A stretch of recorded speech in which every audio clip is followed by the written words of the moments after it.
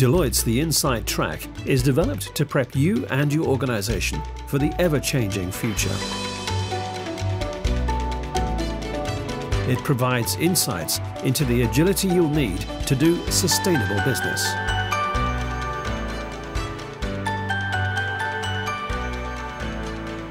This podcast series dives into the six agility domains necessary for Belgian companies to stand up to future crises. Please welcome our Inside Track host, Gudula Wijnands, Director of Deloitte Belgium. Welcome at a new episode of our Inside Track by Deloitte. In today's episode, we will have a look at how real time data and insights can help your company to become a more agile organization. We will focus today on a forward looking perspective and what kind of financial data and insights you need in order to become a future proof company. From the Belgian Readiness Report, we learned that only 30% of the respondents have an efficient and sufficient automated forecasting process. That means that 70% is not satisfied with the processes or the tools they use to do the forecasting. But there is a way to improve that. And that is what today's episode is all about. And that is why I invited today uh, my colleague Johan Buzini, director at Deloitte Belgium, um, and an expert into this matter. Johan, uh, can you please uh, introduce yourself to our audience, please? Thank you, Gudula, for having me on this show. So, indeed, I'm Johan Buzini, director in what we call finance and performance uh, service line and I'm leading the business finance uh, team. Mm-hmm. Uh, I'm focusing mm, uh, a lot on supporting companies to transform the way they plan from a process and a solution perspective. Okay. So, thank you anyway for joining us.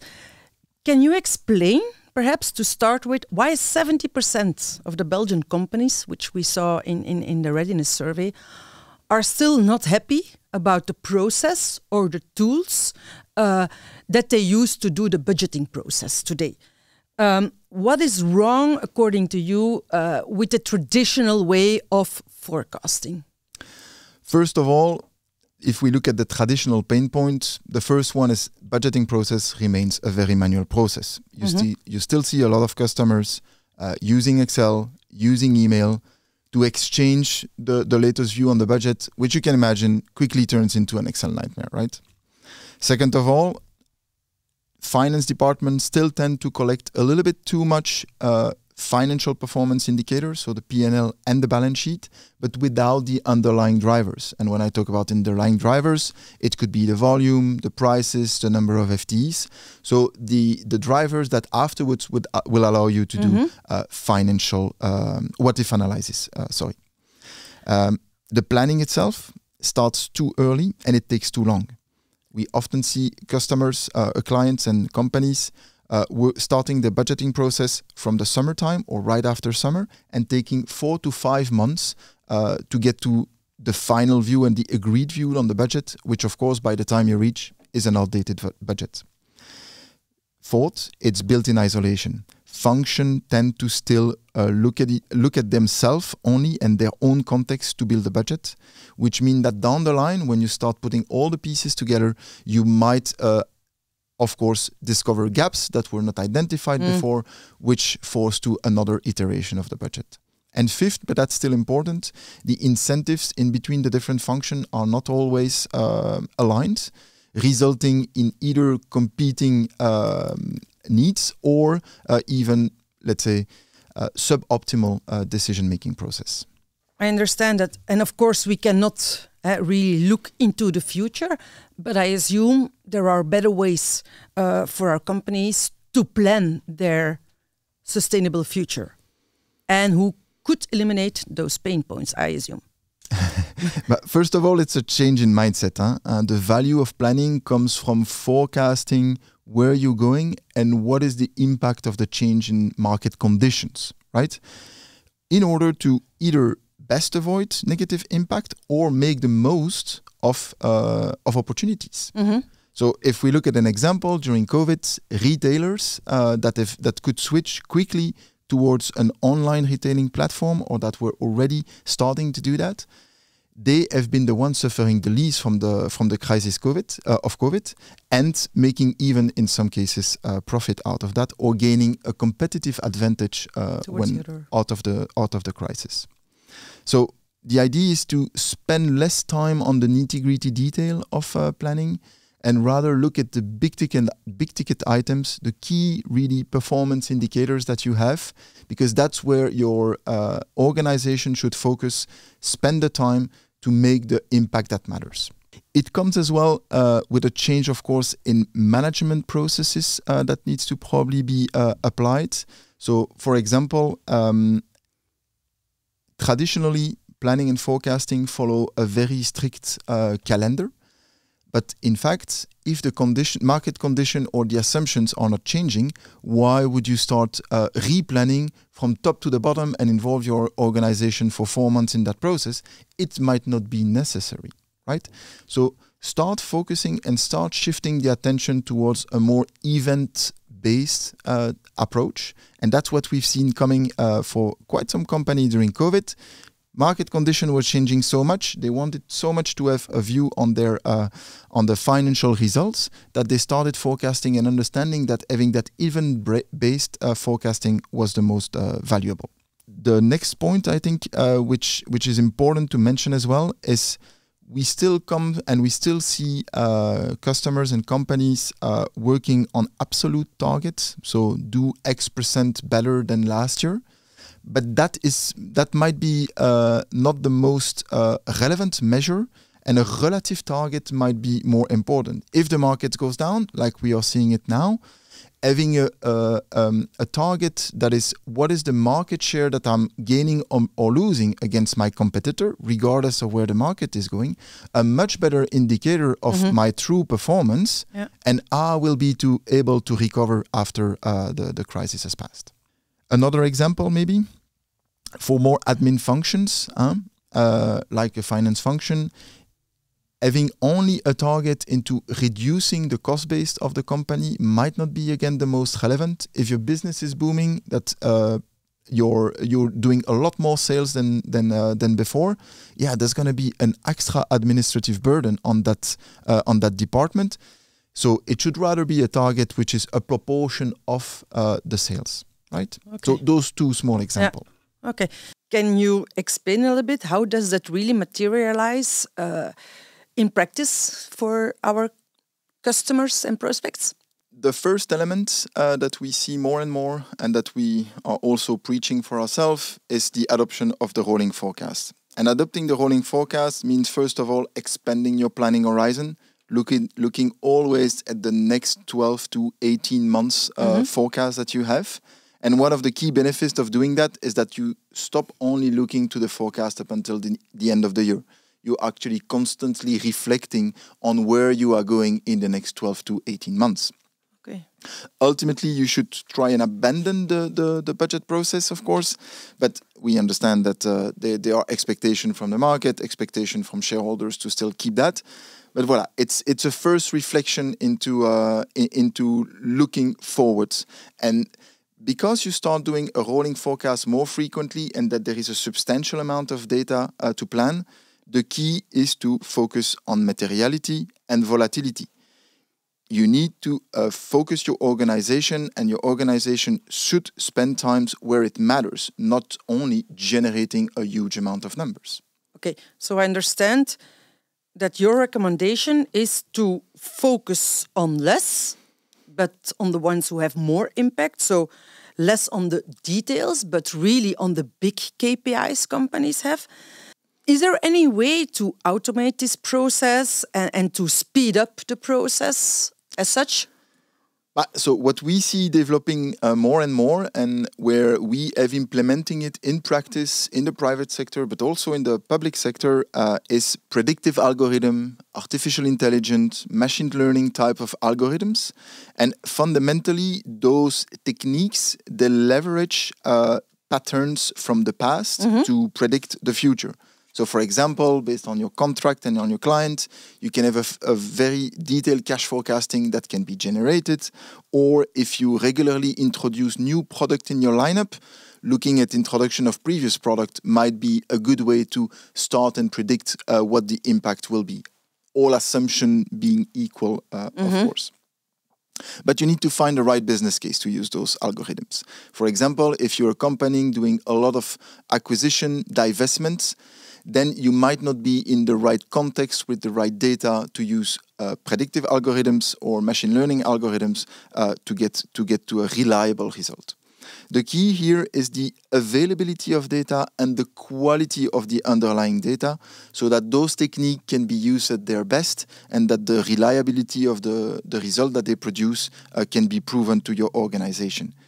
Because, of course, one of the key uh, aspect that we see at client is that the resistance of some of some parts of the organization to trust those algorithms.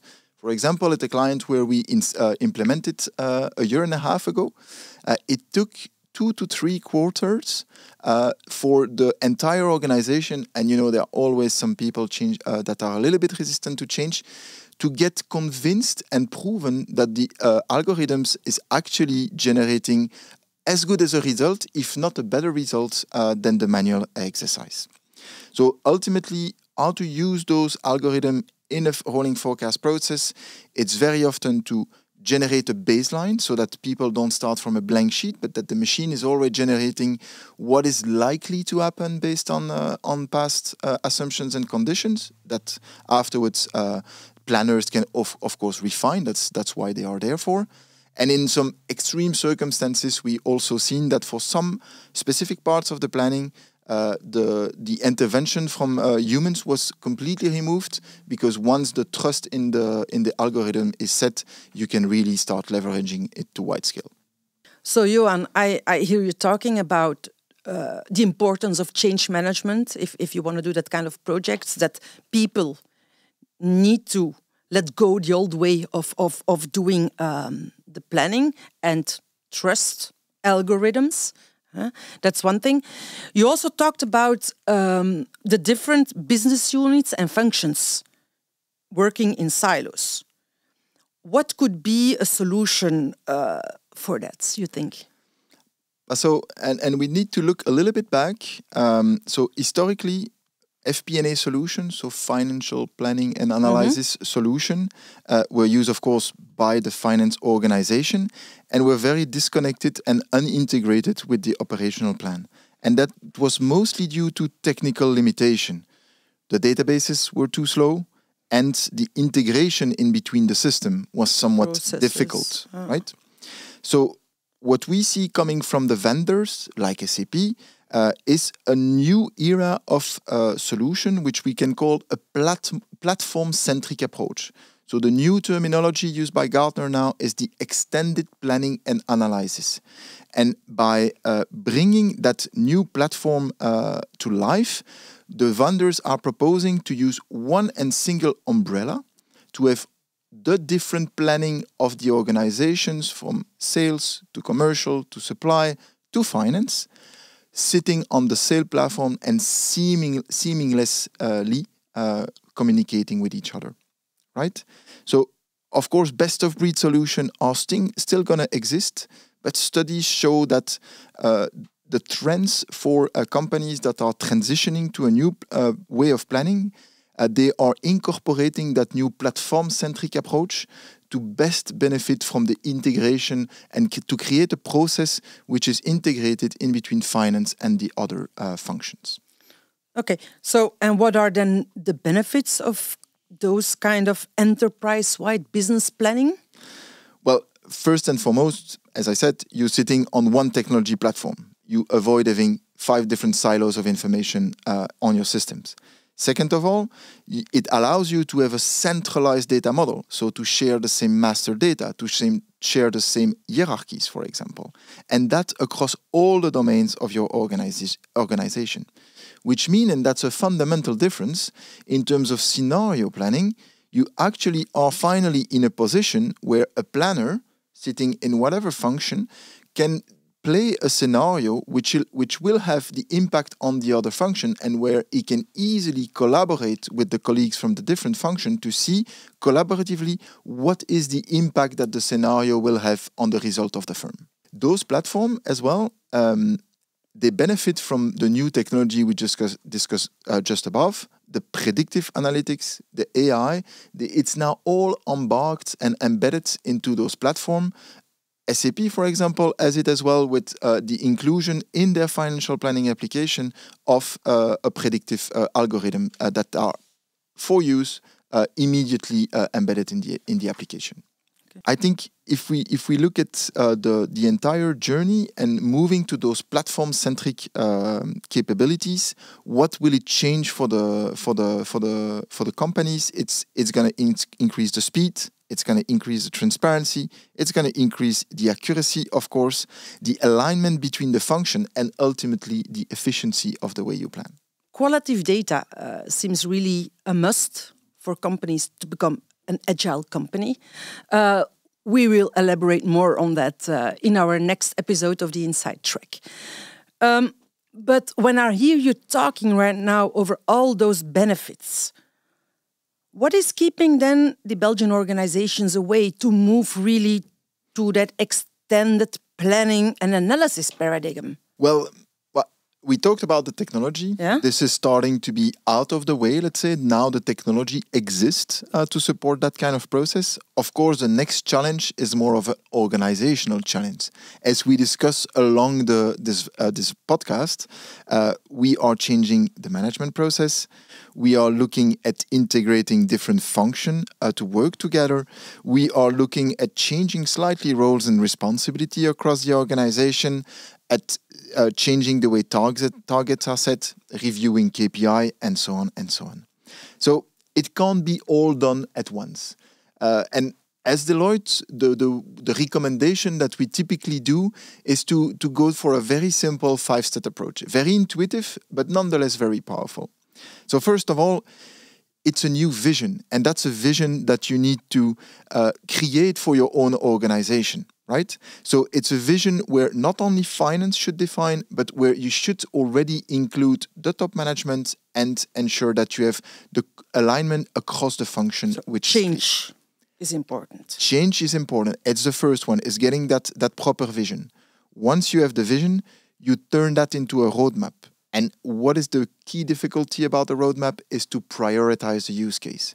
But that's the most important. You need to be clear that you can't climb the Everest in one day and you need to take baby steps mm-hmm. to, uh, to make that successful for yourself. You need to talk about, uh, think about the people that you will involve. You need to th- think about the processes that you're going to change and how the technology is going to support that.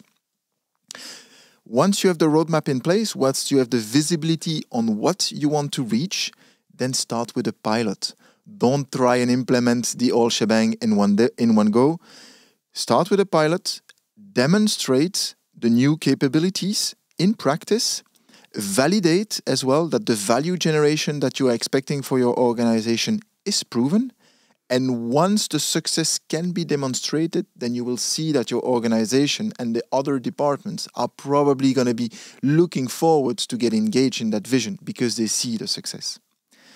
And then when that success is created, then you can start industrializing. So it's refining the pilots, of course, uh, and it's to scale the capabilities around those pilots so that it can incorporate the lesson learned and it can be uh, rolled out to the entire organization. And very importantly, and you touched upon it uh, already, uh, ensure that the key leaders of the different function are involved and are sponsored sponsors of that transformation, of that change, it is key for the organization to accept the change and to be willing to go mm-hmm. towards mm-hmm. that new direction. We covered uh, quite some topics today, uh, and certainly how uh, a rolling forecast adds agility to companies, and, and, that's really the way to go. Um, but to the end, do you have one other trend you see uh, in performance management today? Well, what we see is that uh, sustainability performance management is uh, getting on the agendas of the CFO. Uh, they are taking an important role in that uh, sustainability uh, journey that all mm-hmm. companies mm-hmm. are going through. Uh, the targets are set, the objective towards 2030 or 2050 are clear for most of the company. Now it's about providing visibility on whether we are achieving or not those targets and creating a plan or helping the, the company to create a plan so that there are measurable short-term objectives that can be worked across. Okay. A good example that we did last year at a client, uh, they have that ambitious uh, target to reduce their carbon emission by 55% by 2030. So that's quite mm-hmm. quite a short term.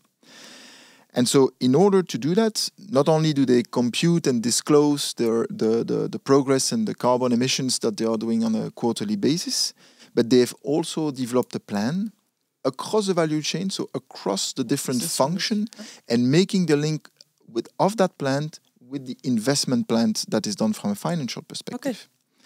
And not only did they do that, do that, and where the CFO is, of course, uh, playing a, a very active role, uh, to make it even more tangible, they decided to translate that um, the the impact of carbon reduction through what they call an internal carbon fee, which is a, a monetary impact on the function's P&L, so that it's extremely clear across the organization, and it's a very it's a true incentive for all functions to move towards that. But you see, having that centralized function that is taking that responsibility and that orchestration view is something and a, trend certainly that we will see more and more in the coming years. Uh, Johan, it's really interesting that you mentioned that uh, sustainability performance management because uh, in our second episode, the previous one of the Inside Track by Deloitte, we all talked about uh, how sustainability adds uh, value to become an, an agile company. So perhaps you might want to look at it later on. Anyway, I would like to thank you for your presence over here and explaining us how our customers and prospects can become more agile in terms of planning and budgeting. Thanks. Thank you, Gudele, for having me. Bye bye. Thank you all for checking in on this inside track on the rolling forecast.